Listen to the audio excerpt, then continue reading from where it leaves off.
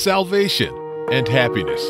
It's your season, it's your time. God has plans for your life to prosper you and to give you hope and a future. Join us and learn how God's love and power can bring hope and happiness to your life.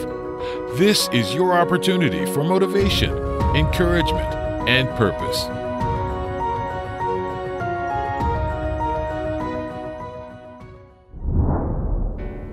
Welcome, church family. I'm Renee Johnson with the Daily Gospel Network, where we bring you the Lord's Word every day from some of the country's most inspiring churches and pastors. And today is no different.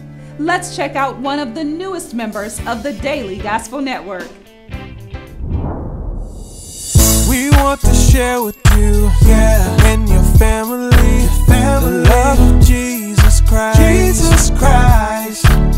So tune in, tune in, and we will grow together to increase our faith with God with one touch ministries. We're touching hearts and changing lives with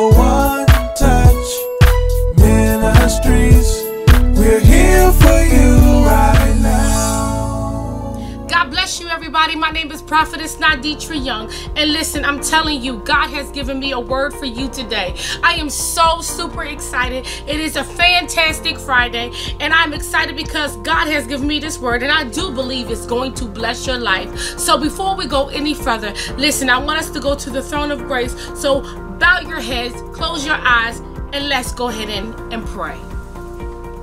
Father, we thank you today, God, for blessing us. We thank you, Father, because of your word. Your word is so true. And God, we thank you today because we're alive and we're well today, God. God, I thank you for your people that are viewing today. God, we ask you right now to bless your people, God. Take them to a whole nother level, God. In the name of Jesus. God, we thank you for all that you are doing. We thank you for what you're about to do, God. God, we thank you for your healing. We thank you for uh, restoring us, God, making us whole, making us better in the name of Jesus. Father, I ask you right now, allow this word uh, to be a blessing to your people. Allow this word to penetrate the hearts and the minds of your people. God, I ask you to allow this word, hallelujah, to shake up uh, the things that are in people's lives today, God. Let it be healing, uh, let it be nourishing for the soul. In Jesus Christ's name, amen. Hallelujah. Listen, guys, I am so excited because God was giving me a word that's going to bless your life. God was giving me a word that was going to to to heal and mend the broken pieces that are in your life today. Listen, I was going through the uh, the Word of God, and I said, God, please show me where you want me to go. Tell me what you want me to do because it's so much going on and everybody needs they need you god and and, and, want to be able to be encouraging to your people. I said how would you like for me to go off and do this? How would you like for me to do this? God show me what to do. And sure enough god began to show me. He took me to uh, galatians the fifth chapter and it was so funny because the week before, my pastor was preaching and he was speaking about Galatians. He was in Galatians, the fifth chapter, and we were going through Galatians. And I'm telling you, he was breaking it down. It was blessing my soul. So I said, Lord, I, I do believe this is what you're calling me to talk about. I, I do believe you're calling me to take it to my platform. And I praise God because God let me know. He said, I'm taking you to another level. He said, but I want you to explain to the people of God. He said, I want you to explain to my people about jealousy. Woo, glory to God. So today, we're going to talk about jealousy. It's so much jealousy going on in the churches today. Okay, and you're probably saying, why would you talk about just the church? The reason why I'm talking about the church, because we as church folk, we as Christians, we already know that jealousy is in the workplace. We already know that jealousy is in the world. We already know that jealousy resides next door or down the street. We already know about that. But I want to talk about the jealousy that we have against one another in the kingdom. Yes, in the kingdom. And the reason why I'm talking about jealousy inside the kingdom, because sometimes jealousy is residing in the kingdom, but it never gets addressed.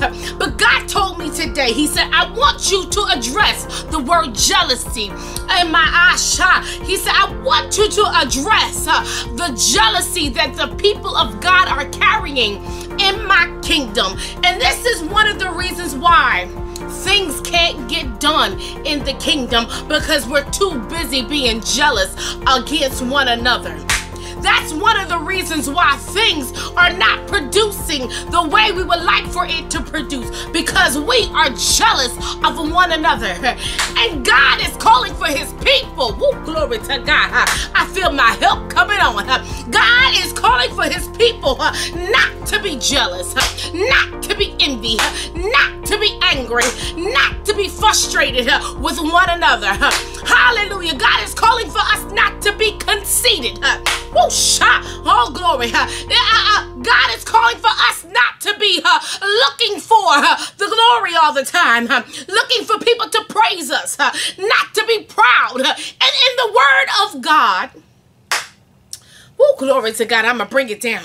In the word of God, it states for us not, not to be jealous of one another, not to be envy, not to be conceited, not to be uh, uh, vainglorious, for us to be loving and respectful to one another. And we wonder why things don't move in the kingdom. It, it, it reminds me of a, the story of Penina and Hannah. How Penina was so jealous of Hannah. And, and, and, you're probably saying, well, she had the children. She shouldn't have been jealous. See, a lot of times, just because she had something that Hannah wanted, did not mean that Penina was not jealous of Hannah. Because sometimes people are not jealous of the material things that you have, they're jealous of the peace that you have. Come on, somebody. When you have peace, Sometimes people are angry because the peace of God rests upon you, the glory of God, or because you are anointed in an area, or you're anointed as an individual. And people are not always jealous of the material. They're not jealous of the houses, the cars, and the lands. They're not jealous because you have a pool in the back. They're not jealous because you can go on trips. They're not jealous because you have a, a beautiful job that pays a lot of money. They're jealous of a lot of times of your peace. Because even though you have these things, it still keeps you humble. And people are angry because how how can she stay humble and how can she stay so sweet and kind? How can he be so nice and still have all these things? People are jealous of the peace that rests upon you. You know, I used to say when I would find out that people were jealous of me, it would it would crack me up sometimes because I, I, the reason why I would laugh is because I said, well, I don't have the material. I don't have, I don't have all these beautiful things. What are they jealous of me for? And my husband had to tap me on the shoulder one day. He said, honey, people are a lot of times are not jealous of because you don't have the material that they have. He said, a lot of times they're just jealous because you have a peace about you. You're at peace with life. You're at peace with adversities that come your way. You're at peace when things don't go the way you want them to go, you become at peace. so I had to realize that people weren't upset of my material. They were upset because I had peace. Okay. So if you will go with me to Galatians, the fifth chapter, I'm just going to read verse 26. It's the last verse. I'm just going to read that one. It says in the Word of God, Galatians, the fifth chapter, verse 26, it says, Let us not become conceited. And I'm reading from the I'm sorry, the NLT, New Living Translation version. It states, Let us not become conceited or provoke one another or be jealous of one another. Okay, that that's the the New Living Translation. Then I'm going to read the English version in my Bible. Genesis, I'm sorry, not Genesis, Galatians, Galatians, the fifth chapter, verse 26. It says this We must not be proud or make trouble with one another or be jealous of each other. So they're both saying, they're wording it differently, but they're both saying the same thing. One says, let's not be conceited, let's not become conceited or provoke one another. And this one says, let's, we must not be uh, uh, uh, proud or make trouble with each other. My God. Or be jealous of one another. So, so, so they're all saying the same thing. They're all saying the same thing for us not to be jealous. Let us not provoke one another. Let's not be conceited. Let's not hold the hand of pride. Let's not be proudful. See, these are all the things that God does not like for us to do in his kingdom. And the reason why I'm speaking about this today is because you know it, I, I, was it was brought to my attention that there was a, a, a big apostle you know that I know that was jealous of me, and I, I became a little uh puzzled by it. I said, why would he become jealous of me? And when I heard the story and I heard the truth and I found out some more information, I had to go into prayer. And I went into prayer and I began to talk to God. And I said, God, I said, I, I, I really don't understand what's going on here. Why would they be jealous of me? Why, why, why would they be envy of who I am? Do they not know what I've been through? God, do they not know that I had to struggle to get where I am today? And God began to show me, He said, it, it, it, has nothing to do with the fact that they're so jealous of the material that you have. They are jealous of the fact that you were willing to work to get what you have. Okay. Some of y'all are probably saying, work. Yeah. He said, because you worked.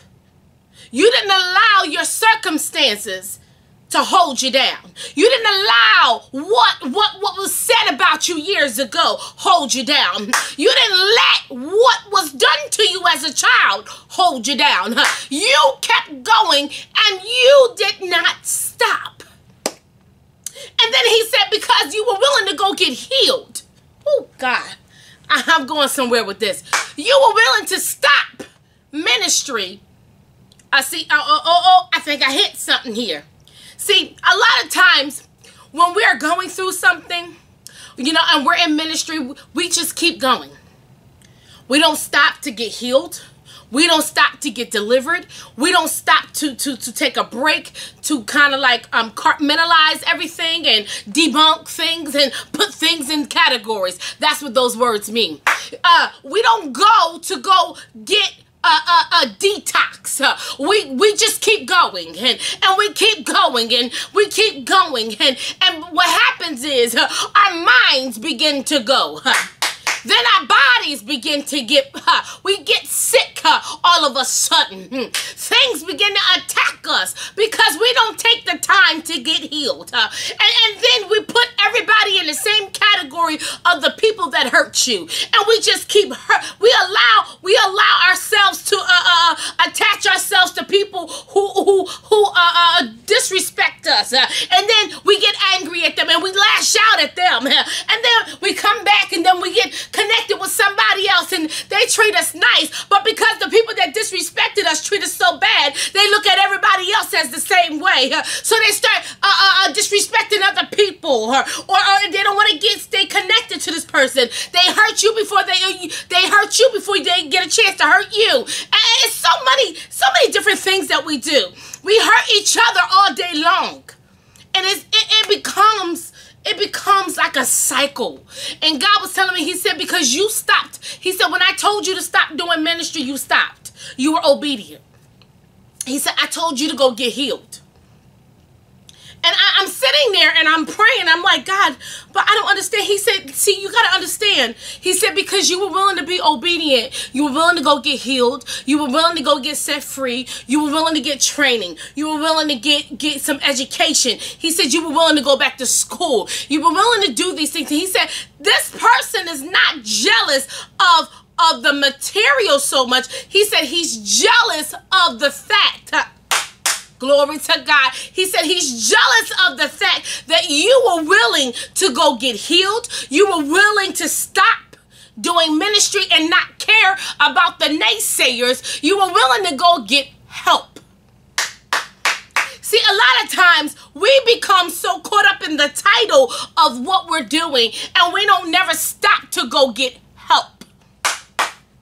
God is telling us today, in order for us not to be jealous of Mrs. So and so and Dr. So and so and and your brothers and your sisters in kingdom, ah, my glory to God, hallelujah. You got to sometimes stop and say, hey, I need a little bit of help over here. I need somebody to come help me. I need to go sit down and I need to go get healed. Or I need to go to a therapist. We kingdom people don't like the word therapist. We don't like the word doctor. I, I, I need to go talk to somebody. I need to uh, make sure that I, am getting myself together. I, I, may have to take a hiatus for a little while. I, I have to take a sabbatical. Nobody wants to do that. Everybody just wants to keep going. All I need is Jesus. All I got to do is go pray. God said it's time for y'all to stop in your tracks so that you can go get healed, so you won't become jealous, so you won't become conceited and provoke other people. Okay. Ha. Glory to God. See, see, a lot of times we we don't see ourselves. We don't never say, God, show me me. Everything else can wait. Show me me. And, and, and God began to show me, He said, going back to the story, he was saying to me, he said, you know, this person was never really jealous of your material. They were really jealous of your peace, your peace of mind, being able to bounce back. They were jealous of the fact that you could go into places that they could not go into because they weren't authorized. He said the reason why you were able to go through those places and the reason why you were able to go in those places, he said, because you were willing to be obedient and stop, stop right in your tracks and say, I'm going to go get healed. I'm going to go get set free. I'm going to go get some deliverance. And because I was willing to go get deliverance, God said, and now that I have you back on the track, now I have you moving. He said, You're going to bypass people that have been in ministry for years, doing things for years. You're going to go to places that they can never go to because why? Obedience is better than sacrifice. See, a lot of times we don't want to be obedient to the word of God. We, we will prefer to live in luxury. We would prefer to live, uh, uh, have money than go get healed, set free, and delivered. We would rather go, go, go, go, go, uh, uh, hang out with celebrities than to be obedient to the word of God and go sit down somewhere and get some, ourselves together. Today, today's people, God is telling you to stop what you're doing and go get healed today, today, the people of today, our leaders of today, the people, I'm, and you know what God told me? He said, you also have to remember, he said, hurt people hurt people. Like the saying of misery likes company. God was showing me, he said, you got to remember that individual is still hurt from previous things. So because he's hurt, he's going to hurt everybody else that's around him. He's going to hurt them before they get a chance to hurt him. And God began to show me this. He said, Don't take it personal. and, and I had to get my my my spirit right because I was beginning to carry the spirit of offense. I was beginning to be offended, and God had to check me. He said, "Don't be offended by this." He said, "Look at this as a reward."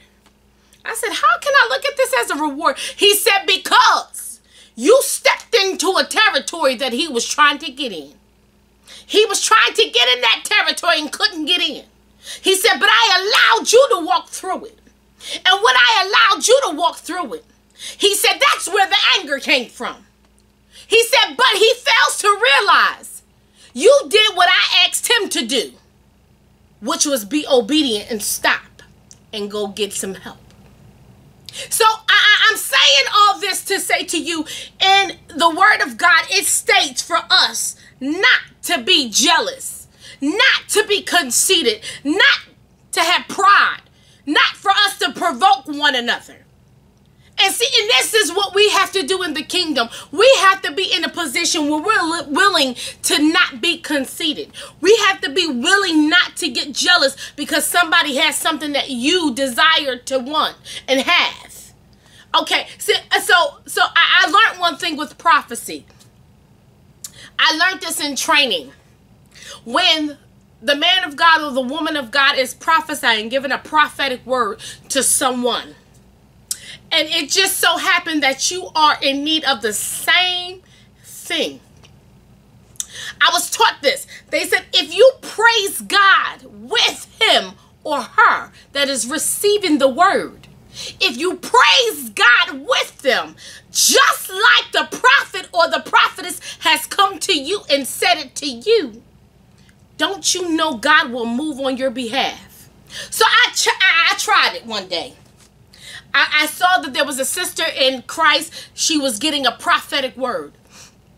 And, and, and, and the word was exactly what I needed for me. What I needed for me to the T. I mean, it it crossed the T and it dotted the I. Well, you know what I did? I said, I'm gonna try this thing out. This is why I was in training. I tried it out. I said, I'm gonna go over there and I'm gonna shout with my sister in Christ. And I'm gonna praise God. Oh, Shamba. I'm gonna praise God with her. And do you not know I began to feel God? And as I begin to praise God, do you not know within two weeks what I had asked God for in secret began to happen in public? Oh, Jesus. All because I praised God with a sister who was getting the word that I needed. Okay, y'all. I hope you catching this. We have to learn how to praise God for other people when they're receiving a prophetic word. We have to learn how to shout uh, with our sisters and our brothers. Uh, we have to learn how, uh, my God from Zion, uh, we've got to learn how uh, to celebrate uh, somebody else. because when you celebrate, when you jump for joy, when you stand with someone else, when you shout with your brother and your sister in Christ, do you know how God does things for you as well. Uh, do you not know how God uh, begins to move in the atmosphere uh, on your behalf? Uh, do you not know uh, how God is getting ready to do something? Uh, so if you have a brother or a sister uh, that is getting a word uh, from God, uh, I want you to shout with them. I want you to praise with them because the same God same God that is blessing them will turn around and bless you too. The same God, hallelujah, that is shining upon them. The same God, I said the same God that is giving them a miracle in their body that's giving them a promotion on their job that is pouring down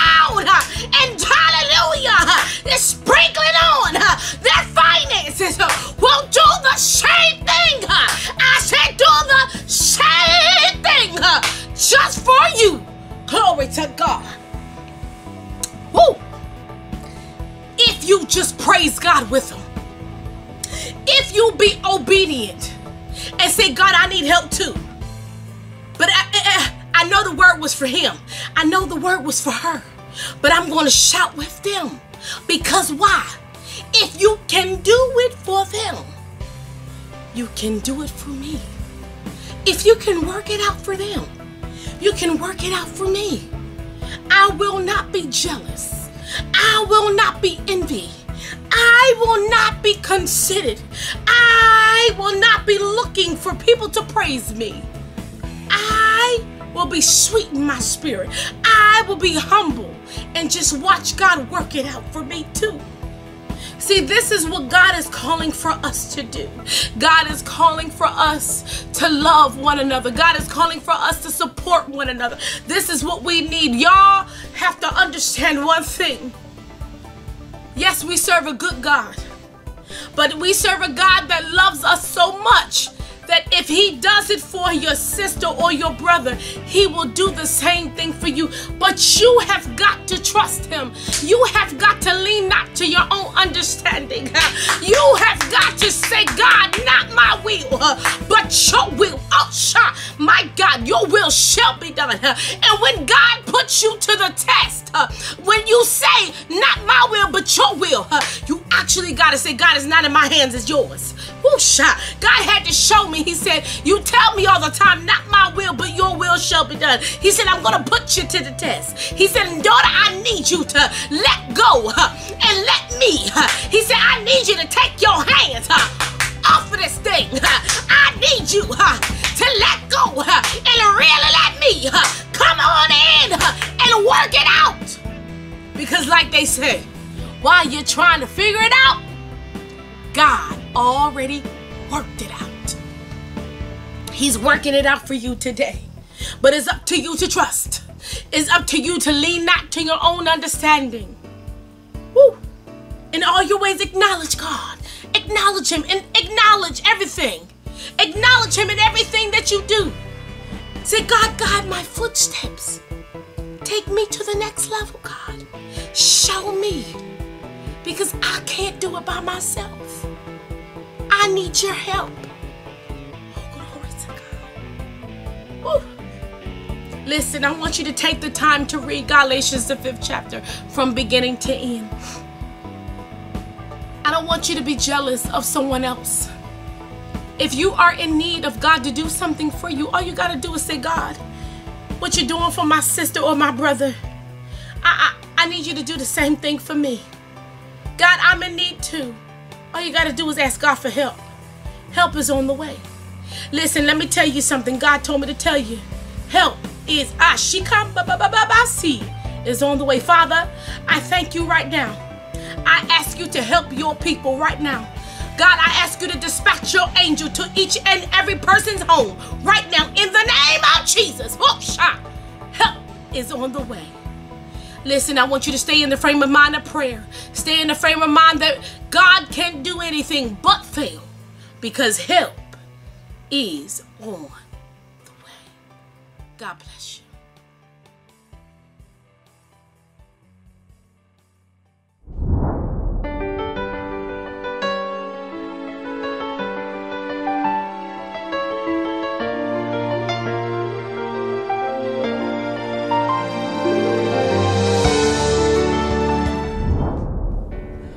Information on today's Spotlight Church, visit them on the internet and follow them on social media. I'm Renee Johnson with the Daily Gospel Network. And until next time, remember, we can do all things through Christ who strengthens us.